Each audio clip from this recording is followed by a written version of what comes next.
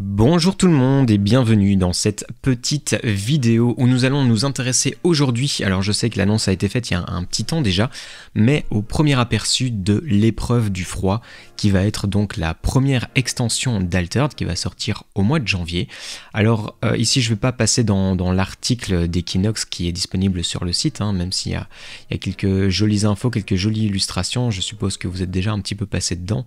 On a vraiment des, voilà, une thématique qui se dégage qu'on peut déjà évidemment voir de par la lecture. Ici, le petit traîneau aussi du, Père Noël qui laisse euh, imaginer certains personnages évidemment qui vont arriver.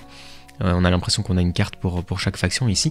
Mais donc on va s'intéresser à ça, mais pas euh, via l'article d'Equinox directement, mais je vais vous proposer la, lecture ici et essayer de rebondir un peu sur l'article qui est disponible sur le, site de la team, donc la team des Exalt, sur exalt.team, qui a été ici rédigé par Fabula Housing et qui a été traduit de l'anglais par Moira. Et donc on va voir un petit peu, c'est l'occasion de discuter de certaines des cartes et de voir un petit peu ce qu'il y a à dire et de, tirer un petit peu ce qu'on peut déjà apprendre des, quelques informations qu'on a sur cette prochaine extension. Donc je vais, euh, oui, je vais principalement vous lire et puis rebondir un petit peu avec euh, mes idées, mes infos si jamais j'ai des choses à rajouter. Mais donc l'épreuve du froid, une analyse des annonces.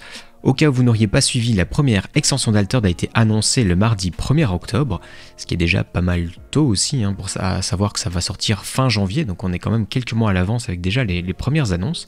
Cet article donc ici va vous présenter ce que nous avons appris jusqu'à présent sur cette nouvelle extension, intitulée L'épreuve du froid, en anglais euh, ça s'écrit Trial by Frost. Concernant le thème, on a ici une citation qui a été tirée de l'article sur le site d'Altered et qui donne euh, un petit aperçu en plus des illustrations évidemment qu'on a vues. Euh, je vous lis le, petit extrait. Maintenant que la porte du solstice est ouverte et que le kraken n'est plus, il est temps d'explorer ce qui s'étend au-delà des limites d'Asgartha. Par-delà l'inconnu se trouve la source du tumulte et les réponses à l'état du monde. Mais le Caïs Aydara se dresse sur ton chemin et il te faudra affronter ces nombreuses épreuves si tu espères poursuivre ton voyage. Résiste au vent glacé et aux tempêtes de neige pour prouver ta maîtrise des éléments. Resserre tes bottes et attrape ton piolet. Affronte les défis de front ou tente de t'adapter. Trace ton chemin jusqu'au cœur de la montagne et pars à la recherche des réponses qui demeurent emprisonnées dans la glace. Et on rajoute que le jeu de base d'Altered par-delà les portes, donc Beyond the Gates, l'extension de base, l'édition de base, a servi à introduire les principes fondamentaux du monde d'Altered et ce set va donc être notre première exploration au-delà de ses limites établies. Le thème est autour d'une région de montagnes gelées, et celui-ci est déjà visible à travers les nouvelles cartes révélées jusqu'à présent. Et en parlant de ça, on va parler un petit peu des cartes à révéler. Mais donc, si jamais euh, vous êtes déjà un peu intéressé au lore, vous savez que le Kraken a été défait. Euh, je vous renvoie évidemment vers, euh, vers notamment mes podcasts ou les articles de lore sur le site ou les, toutes les petites toutes les petites informations de lore sur chacune des cartes du jeu, on apprend quand même beaucoup de choses, et donc on a appris que le Kraken évidemment a été défait, ce qui nous permet de sortir, enfin ce qui permet aux habitants d'Asgartha de sortir de la cité et de commencer à aller euh, réexplorer l'extérieur plus en sécurité, et notamment ici au, nord-ouest là où était euh, la région de Kaer Orun. Et donc ici, on va se retrouver dans des, dans des, dans des régions gelées avec le, le Kais Aydara. Alors je ne sais pas si la prononciation est correcte, mais qui va être une, une zone de montagne. Alors est-ce que le Kais est juste une montagne ou une chaîne de montagnes mais en tout cas une zone de, voilà, de montagne enneigée, comme on a pu le voir si on retourne sur les, illustrations ici, on peut voir ici toute, euh, toute la zone de montagne enneigée avec nos héros qui sont habillés de telle sorte à affronter évidemment le froid euh, à venir. Donc voilà, le thème est assez euh, clair, je pense, depuis, depuis le début.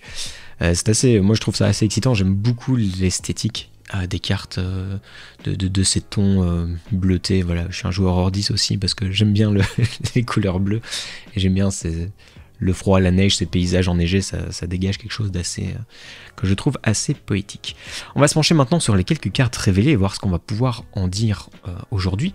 Alors, il y a trois cartes de l'épreuve du froid qui ont été révélées. Alors, en plus des illustrations, ici on parle de trois cartes avec vraiment leur texte, leur coup, etc dans leur version commune. Je vais passer en revue chacune de ces cartes une par une et discuter un peu de l'usage que l'on peut en faire, mais il est important avant tout de noter quelques points. Tout d'abord, la méta du set de base, donc telle que l'on la connaît aujourd'hui euh, n'est pas encore complètement établi à l'heure actuelle. Les joueurs sont en train de découvrir quelles cartes et quelles factions sont les plus puissantes et comment se déroulent évidemment tous les différents match-ups. On a quand même 18 héros dans le jeu pour trois factions différentes, on a beaucoup de match-ups à, connaître, à analyser et à développer aussi. Euh, le, jeu n'est officiellement sorti qu'il y a, euh, on est quoi là, un mois, et, un mois et demi? Donc non, un mois, enfin un gros mois. Un peu plus d'un mois. Donc on n'a pas encore tout découvert. Il est tout à fait possible donc que les stratégies dans lesquelles ces cartes s'intègrent le mieux ne soient pas les plus efficaces actuellement, évidemment, avec des nouvelles cartes, des nouvelles mécaniques, on va avoir des nouvelles choses qui vont apparaître. De plus, l'introduction du deuxième set va bien sûr bouleverser la méta en elle-même. Ces cartes ne peuvent pas être évaluées avec précision sans connaître évidemment les autres nouveautés que va apporter l'épreuve du froid. Avec toutes les nouvelles cartes qui vont sortir, elles peuvent avoir de nombreuses synergies que nous ne pouvons pas encore voir.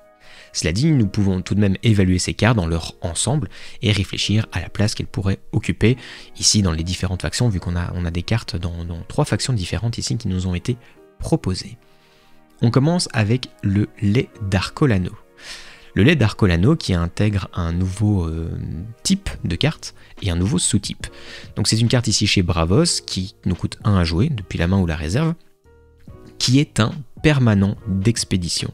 Donc ça change des permanents qu'on avait jusqu'à présent où il était juste mis permanent, tiré et on avait uniquement des repères.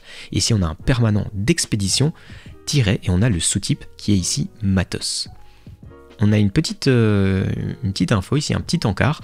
Alors est-ce que c'est nouveau ces petits encarts? Est-ce que ça va juste être pour les nouveaux types de cartes ou est-ce qu'on va avoir des, des, rappels sur des cartes déjà existantes avec un, nouvel encart pour... Euh, je ne sais pas pour l'esthétique de la carte ou pour la facilité de lecture. En tout cas, c'est assez intéressant. On a entre parenthèses et en italique l'information qui nous dit que on doit jouer cette carte dans une expédition. Donc si c'est vraiment des permanents d'expédition à jouer dans les expéditions et plus dans les zones de repère, ce n'est pas un repère. Je vais en réserve au repos si elle a avancé, donc si l'expédition a avancé. Donc c'est vraiment un permanent qui va rester dans l'expédition tant qu'elle n'avance pas. Assez intéressant, nouvelle mécanique de jeu. Ça nous dit, lorsqu'un personnage rejoint mon expédition, il gagne un boost et fugace. Plutôt intéressant aussi, donc un effet lorsqu'un personnage arrive en jeu. Je peux peut-être vous mettre la carte en grand ici, on, aura l'image en plus grand ici. Si vous voulez la lire, je pourrais peut-être faire ça pour les prochaines directement. Euh, on a une petite illustration aussi sympathique hein, de ce lait d'Arcolano sur une petite euh, serviette, nappe, de pique-nique avec euh, le petit emoji du Bouddha ici, je trouve ça assez fun. Et le côté un peu enflammé, voilà, ça, crie un petit peu euh, je, suis fait par la faction Bravos. Et Arcolano, donc c'est une des régions euh, dans, dans, Asgartha. Alors, on va continuer tout ça. Donc la première carte révélée nous présente un tout nouveau mécanisme de jeu. Les cartes Matos sont un nouveau type de permanent, oui, donc un, sous-type, hein, si on veut être correct. Après le tiret, c'est un sous-type, qui sont joués dans une expédition spécifique et qui restent dans celle-ci jusqu'à ce qu'elle avance. Cela n'a pas été dit explicitement, mais il semble que les cartes Matos ne comptent pas dans les deux cartes permanentes en jeu d'un joueur, car ils n'utilisent pas les emplacements normaux euh, du jeu dans la zone des repères. ça, on peut revenir sur la... Euh, par exemple ici, Très voilà, on parle ici des, petits, euh, petites cases ici qui nous fait dire qu'on peut avoir deux cartes en réserve et deux cartes ici, mais c'était en repère, donc ces nouveaux permanents ne sont pas des repères, donc ne sont pas évidemment limités par, euh, cette quantité euh, déterminée par le héros. il, est également possible que ce ne soit le cas que pour les cartes Matos portant la mention permanente d'expédition, ce qui n'est peut-être pas le cas de toutes les cartes Matos imprimées on pourrait, dire que Matos est un nouveau sous-type, mais ça pourrait être un sous-type aussi de permanent ou, d'autres choses et pas seulement permanent d'expédition. Je trouve ça peut-être un peu farfelu. Euh, parce qu'on est, dans, des types, des sous-types de cartes, etc. Je suis pas sûr qu'on aura du matos ailleurs que dans les expéditions. Parce que sur les tapis de jeu, c'est ce qu'on a en bas à droite, c'est la zone de repère, donc c'est pas juste une zone de permanence, c'est typiquement une zone de repère. Donc si on a le sous-type matos, bah on n'a pas le sous-type repère. Euh, donc c'est, enfin voilà. Je, ne suis pas forcément dans la même mouvance ici. Alors, c'est aussi la première fois qu'Alter propose des permanents qui n'ont pas le type repère. Ça c'est vrai, dans Par-delà les portes, chaque permanent était également un repère.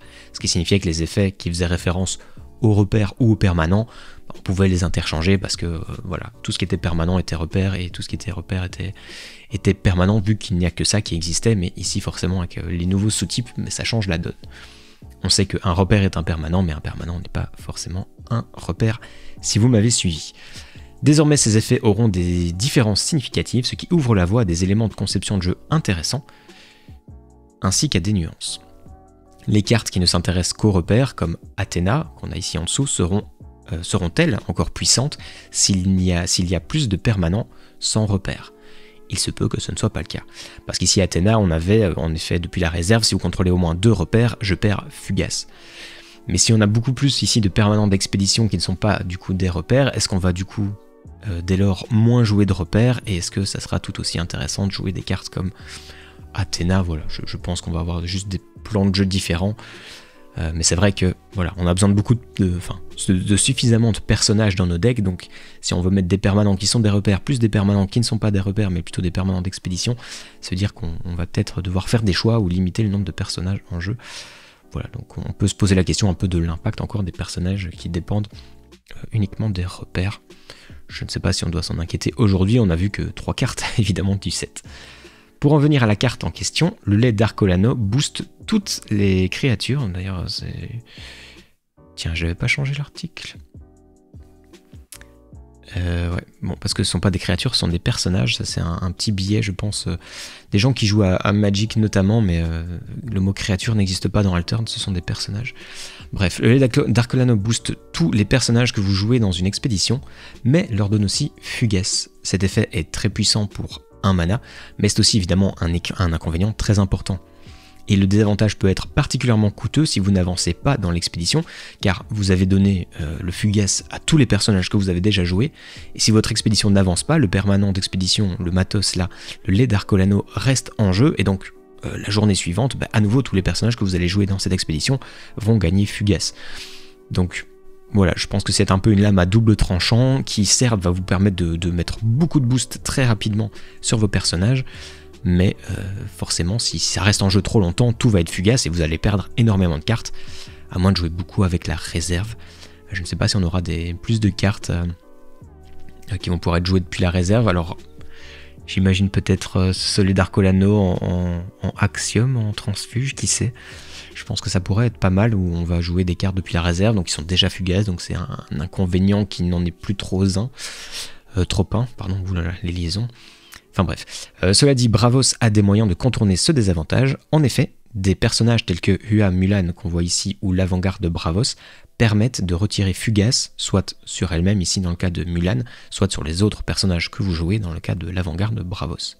D'un autre côté, la traceuse Bravos est par défaut fugace quand vous la jouez. Ça fait partie de ces personnages voilà, qui arrivent, qui sont déjà fugaces, euh, pour contrer un petit peu, pour équilibrer le fait qu'elle ait de très bonnes statistiques. Ce qui va annuler le désavantage du lait d'Arcolano, et vous allez avoir un personnage vraiment avec beaucoup de boost. Si on reprend la, traceuse Bravos rare, qui est pour 2 mana, qui est 4-3-4, qui arrive fugace, avec le lait d'Arcolano, elle serait 5, 4-5 euh, pour 2 mana, et de toute façon elle est déjà fugace. Donc ça peut être évidemment le genre de carte très intéressante à, jouer euh, avec ce lait d'Arcolano. Euh, enfin, jouer vos personnages de la réserve dans l'expédition du lait d'Arcolano est un moyen d'obtenir vos boosts gratuitement. Voilà, un peu comme on le dit, euh, étant donné qu'ils sont déjà fugaces, ça ne change plus grand chose. Si vous incluez suffisamment de ces cartes dans votre deck, vous devriez être en mesure de tirer le plein potentiel de cette carte sans en subir les désagréments. Le lait d'Arcolano vous incite à jouer un deck agressif avec beaucoup de personnages avec un faible coût. Son effet n'est pas vraiment utile si vous ne boostez qu'un seul personnage dans la journée. Oui, forcément. On aura payé un pour gagner un boost, mais donner le fugace à un personnage qui va arriver, donc c'est un petit peu moyen. Ça se joue en effet peut-être plus avec, euh, avec des decks très agressifs, on va pouvoir jouer 2, 3, 4 personnages dans une journée. À certains moments du jeu, ça peut être. Euh, ça peut, ça peut voilà, faire découvrir un peu son plein potentiel. Vous devez remplir une zone d'expédition avec le plus de personnages possible pour rentabiliser au maximum cette carte. Basira est la candidate idéale car son pouvoir s'active lorsque vous boostez vos personnages. Et donc forcément, vous avez lait dans une expédition, bah, ça veut dire que quoi que vous jouez comme personnage dans l'expé, il va gagner un boost et vous pouvez déclencher euh, Basira. Un petit peu comme, euh, comme un havre que vous jouez euh, avec les personnages de votre réserve, ou alors en, draft, moi j'avais déjà joué une fois, j'avais un monolithe Bastion Ordis dans un deck avec Basira en tant que héroïne. Et du coup, bah, tous les personnages que je jouais gagnaient un boost et donc pouvaient déclencher l'effet de Basira, donc c'était plutôt intéressant. Ici, c'est bien pour un seul mana, ça va pouvoir se faire. Kojo devrait également trouver un bon usage de cette carte car les listes autour de ce héros sont traditionnellement conçues pour être très agressives et essayer de prendre l'avantage en début de partie. C'est que ce que pardon, cette carte peut faciliter. Je ne m'attends pas à ce que les decks Hatsadi, qui ont des personnages particulièrement chers, soient intéressés par la carte, ce qui est tout à fait normal. Aucune des cartes n'est adaptée évidemment à toutes les configurations, à tous les héros et à tous les plans de jeu. Donc ça c'était pour cette première carte, le lait d'Arcolano, qu'on voit ici en, commune dans la faction Bravos, et on se demande dans quelle faction ça va arriver ensuite. On passe à la carte suivante qu'on va voir chez Muna qui est Déméter. Alors je vais revenir du coup sur la carte de l'article. Oups, je pouvais rester là pour vous l'afficher en grand. Déméter qui est un personnage qui est une plante, euh, intéressant aussi chez Muna, qui est une divinité, qui nous coûte 6 à jouer d'où qu'on la joue pour une 6-5-5, donc un peu moins de statistiques finalement que son coût. Euh, c'est pas injouable, mais voilà, on préfère avoir en général des cartes un peu plus importantes, mais on a un petit effet quand même intéressant. Si je suis euh, sur la zone de forêt, je suis éternel. Donc la seule carte qu'on connaissait jusqu'à présent qui était éternelle, c'était Hydrakaina. Et éternel signifie donc qu'au repos, on ne va pas, la carte ne va pas aller en réserve. La nuance par rapport à Hydrakaina qui est éternelle euh, quoi qu'il arrive quand, elle arrive en jeu, quand elle est en jeu, ici euh, Déméter elle est éternelle seulement lorsqu'on est sur euh, la, plante. C'est-à-dire l'expédition dans laquelle est Déméter doit être sur une région qui a de la plante. Donc soit mono, mono-forêt, soit forêt haut, soit forêt montagne. Euh, donc, voilà, c'est un éternel sous condition, je trouve ça plutôt intéressant, ça ouvre aussi la voie à différentes choses, ce qui signifie que si jamais on est sur la forêt avec euh, nos 6 de stats, notamment en forêt, mais que notre adversaire nous, contre, ne nous permet pas d'avancer, eh ben, Déméter va rester en jeu. Étant donné qu'elle euh, n'a pas avancé, elle sera toujours sur, sur la forêt, donc elle va être éternelle et elle va rester en jeu. Et tant que notre adversaire nous bloquera sur la forêt, bah, elle restera en jeu ce qui est plutôt sympa. Et une fois qu'on va avancer, bah, potentiellement, enfin on va le voir, mais on pourrait ne plus tomber sur la forêt ou bien trop tomber encore sur la forêt. Mais bref. Donc Déméter est la troisième carte après le Kraken Erin qui s'intéresse à un type, de, biome spécifique. On avait le Kraken qui disait que toutes nos régions euh, devenaient de l'eau, et Erin qui nous dit que si on avance euh, grâce à la forêt, on a un effet qui se déclenche. Étant un personnage Muna, il n'est pas surprenant de l'avoir vous récompenser pour avoir joué dans les biomes, euh, les régions forêts. C'est aussi le second personnage éternel après Hydrakaina. Bien qu'il soit excitant de voir ce mot-clé sur un personnage avec d'aussi grosses statistiques, il est essentiel de noter qu'Éternel fonctionne de manière totalement différente sur Déméter que sur Hydrakaina. Un peu comme je viens de le dire avant. D'ailleurs, on peut revoir ici euh, si vous voulez vous rappeler de son texte. Bien qu'il soit excitant, bleu, non, je viens de le lire, rappelez-vous que chaque carte de tumulte a les trois types de régions réparties sur ces deux zones. Ça signifie qu'après être passé dans un biome forêt, il y a une chance sur deux pour que la zone suivante le soit également, et qu'il n'y a, aucune chance pour que vous trouviez trois biomes de forêt d'affilée. En conséquence, Déméter est moins un personnage éternel qu'un personnage euh, étrangement ancré. En tout cas, euh, oui, c'est un peu comme si on avait un, oui, un genre, un genre d'ancrage. Enfin, éternel aussi est un genre d'ancrage. Donc, euh, c'est vrai qu'elle n'est pas éternelle, éternelle. C'est comme si elle était ancrée de façon, de façon temporaire, mais potentiellement plus longtemps qu'un personnage ancré. Enfin voilà, on est un peu dans, un mix entre les deux. Je trouve que dire éternel sous condition est, plutôt pas mal. Donc ici, la, la petite Indra Kaina. Même s'il n'est pas vraiment éternel, un personnage ancré de 6-5-5 est toujours un investissement euh, fantastique. Lorsque vous envisagez cette créature, ce personnage, de cette façon, vous devez également prendre en compte le fait que vous êtes limité sur les zones dans lesquelles vous pouvez la jouer. Cela est cependant compensé par l'avantage potentiel d'obtenir deux tours d'éternel d'affilée lorsque vous vous déplacez dans la bonne zone de tumulte. Dans une situation désespérée, jouer ce personnage comme un 6-5-5 classique n'est pas non plus la pire décision au monde. Ça nous fait euh, quelques statistiques quand même qui ne sont pas, qui ne sont pas mauvaises. L'héroïne la plus évidente avec laquelle jouer Déméter, bien évidemment, est Rin, qui vous incite, de par son pouvoir, euh, à avancer le plus possible dans les biomes forêts. Teija peut potentiellement être une candidate intéressante aussi, car même un, éternel partiel fonctionne bien avec sa capacité de mettre des boosts. Et on se retrouverait dès lors avec une 7-6-6 pour 6 mana, potentiellement éternelle euh, de temps à autre. Cependant, les decklists actuels de Teja ont tendance à jouer des personnages ancrés peu chers qui gagnent plus comparativement avec un seul boost. Les decks d'Arjun ont eux tendance à être construits autour de personnages moins chers également, donc peut-être plus difficile de trouver une place pour, euh, pour mettre Déméter. Pour être honnête, j'ai un peu de mal à voir dans quel deck Déméter pourrait s'intégrer. C'est au moins une plante, ce qui signifie que vous pouvez euh, la jouer plus rapidement avec la prairie prolifique notamment, et elle peut aussi profiter d'autres synergies avec les personnages de type plante qui existent dans le corset d'Altered, et probablement dans le nouveau aussi.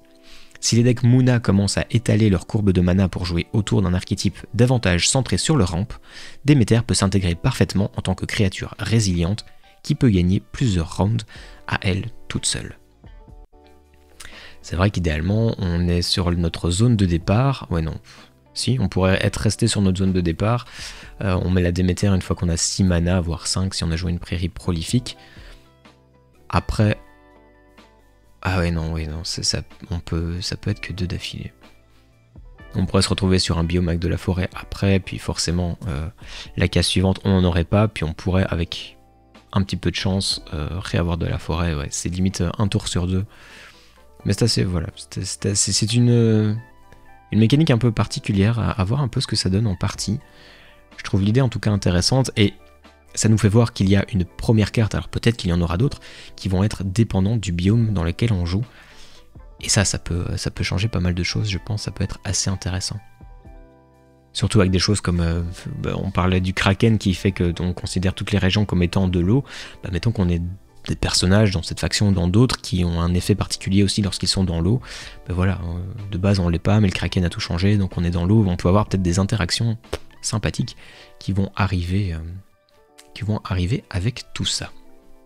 On va passer ensuite sur la larve de phalène chez Izmir, je vous la représente ici, qui est un personnage ici animal, avec une... Euh, j'aime beaucoup le, style de l'illustration de Zael qui avait fait le, le, disciple studieux dans le corset, et j'aime beaucoup son style.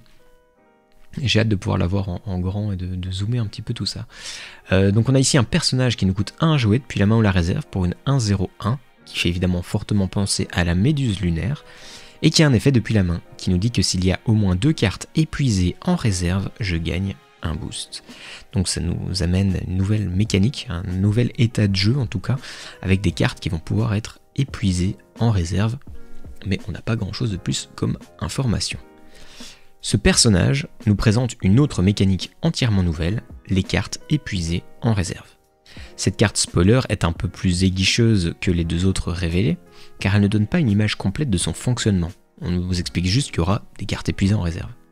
En effet, nous ne savons pas encore ce que signifie l'épuisement d'une carte dans la réserve. Il y a quelques théories plausibles qui circulent, Notamment, cela pourrait signifier qu'il y a des cartes avec des capacités activées que vous pourriez déclencher de la réserve. Donc une carte, euh, une carte avec un effet d'épuisement un peu comme, euh, comme, comme euh, qu'est-ce que j'ai comme exemple? Comme euh, je sais pas une fonderie, euh, voilà une fonderie qui a un permanent qu'on peut épuiser, ben là on pourra avoir une carte dans la réserve qui a un effet d'épuisement depuis la réserve, même si je trouve ça un peu bizarre parce que ça intégrerait un nouveau type de mot-clé ou un nouveau symbole. ouais, ça amènerait quelque chose de peut-être un peu trop rapidement un truc un peu plus un peu trop particulier quoi, un nouvel effet, un nouveau machin. Donc je, je, suis pas sûr que ça, que ça puisse vraiment être ça. Euh, il pourrait également y avoir des effets de cartes qui épuisent les cartes de la réserve, les rendant injouables pour le tour, un peu comme un sabotage plus faible. Euh, ouais, c'est ça. Donc on pourrait avoir des effets, moi je pense plus à ça, euh, des effets qui sont soit générés par nous-mêmes, pardon, parce que là, avec la larve de phalène, je pense qu'on aurait envie d'avoir euh, par nous-mêmes des, cartes épuisées en réserve, soit euh, gérées, par l'adversaire. Étant donné le thème du gel de cette première extension, je parie sur cette deuxième idée, mais tant que nous n'en aurons pas la certitude, il sera impossible d'évaluer le véritable pouvoir de la phalène. En tout cas, c'est assez intéressant, parce que si, mettons qu'une carte épuisée dans la réserve ne puisse pas être jouée, moi j'ai l'impression, enfin voilà, c'est la première idée qui me vient en tête, c'est la logique que j'aurais, euh, Ça veut dire que, mettons qu'elle a besoin qu'on ait deux cartes épuisées en réserve, ben, à la fin de la journée, elle va aller en réserve, et donc, comme on n'a pas pu jouer nos cartes de la réserve, on va se retrouver avec trop de cartes en réserve. Voilà, je sais pas si c'est ça, mais c'est un peu l'idée que je m'en fais. Euh, on verra, on verra euh, au fur et à mesure des annonces, des cartes révélées, ce que, ce que ça va nous en dire. En tout cas, c'est voilà, assez intéressant de voir cette nouvelle mécanique là, un peu plus complexe que juste des nouveaux types de cartes ou des effets euh, qui dépendent des biomes. Bref. les personnages avec un pouvoir sont toujours utiles et un potentiel de 2-1-2 ici, si elle gagne en effet son un boost, n'est pas à dédaigner. Ce n'est pas non plus un effet si impressionnant qu'il vaille vraiment la peine d'en tenir compte dans la construction de votre deck avec nos connaissances actuelles, forcément. Si les cartes épuisées dans la réserve sont vraiment communes, soit parce que c'est un effet que vous pouvez déclencher sur vos propres cartes, soit parce que c'est quelque chose de peu coûteux à faire à votre adversaire, alors la larve de phalène peut être intéressante à jouer en tant que personnage générique dans un deck. Sinon, je m'attends à ce qu'elle ne soit jouée que dans les decks Izmir très agressifs qui veulent tous les personnages bon marché qu'ils peuvent trouver.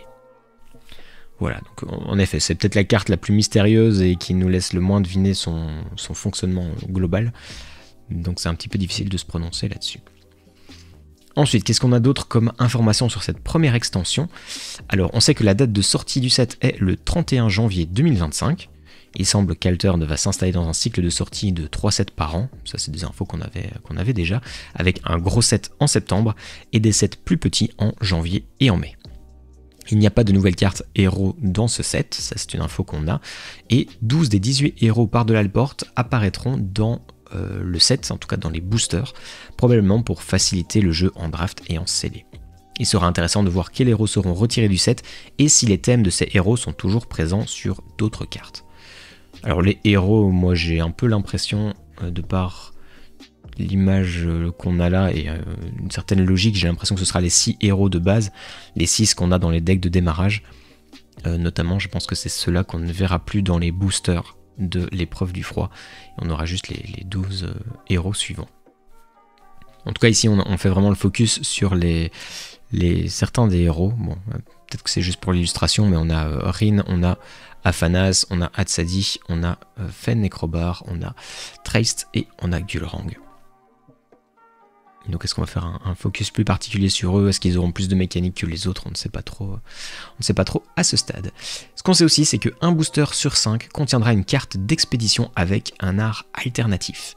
Ces 5 cartes sont mécaniquement, identiques à celles des il manque une petite erreur là, de démarrage de par de la Léporte, mais le fait d'avoir une nouvelle illustration à choisir apporte sans aucun doute un peu d'air frais dans la zone d'expédition. Je trouve ça en effet très sympa, et donc a priori on n'aura pas de nouveau deck de démarrage pour cette euh, première extension, peut-être que ça n'arrivera qu'avec les, les, gros sets de septembre, ou peut-être que ça n'arrivera plus avant un moment, on ne sait pas trop. Je m'attends quand même peut-être à en voir en septembre. Mais donc ici, dans les boosters, on va pouvoir avoir euh, une chance de récupérer ces cartes-là avec un art alternatif. Et donc le côté héros, on se retrouve avec le, le bastion l'Ouroboros, le bastion Lyra, qui est un petit peu le QG, le point de départ des expéditions ici vers, euh, vers le Kai... Kaïs... Kaïs... Kaïs Arc... Euh, punaise, je ne sais plus son nom. Adara, je pense. vers le... Ouais, c'est ça, Kaïs... Kaïs Adara qui doit être euh, très certainement euh, quelque chose ici euh, au fin fond de la montagne. Et donc on voit qu'on a des lacs gelés, qu'on a des zones un petit peu particulières, un peu difficiles à définir. En tout cas, on a toute cette esthétique glace, forêt, de sapins, des choses un petit peu bizarres, histoire de pouvoir renouveler votre piste d'expédition. Voilà, ça va juste être esthétique. Ça, ce sont exactement les mêmes biomes placés de la même façon, donc c'est vraiment juste visuel. Mais je trouve ça très chouette de pouvoir faire varier ça et de, de pouvoir jouer vraiment dans cette ambiance de la nouvelle extension, donc avec les, cartes, euh, cartes de tumulte, les cartes de région, d'aventure de cette, euh, de cette extension-là. Voilà, très chouette. En conclusion, le corset d'Alter était déjà vraiment passionnant, mais la première extension est toujours quelque chose de spécial dans un jeu de cartes à collectionner. C'est l'occasion pour les joueurs de voir quelles limites seront repoussées et d'inaugurer une toute nouvelle ère de découverte. J'espère vous voir tous jouer à l'épreuve du froid en janvier et évidemment qu'on y jouera. Euh, qu'est-ce qu'on pouvait dire d'autre aussi? On voit juste ici oui, la, tête des boosters. Donc booster de 12 cartes avec euh, un personnage particulier ou peut-être encore un genre de recrue hors 10.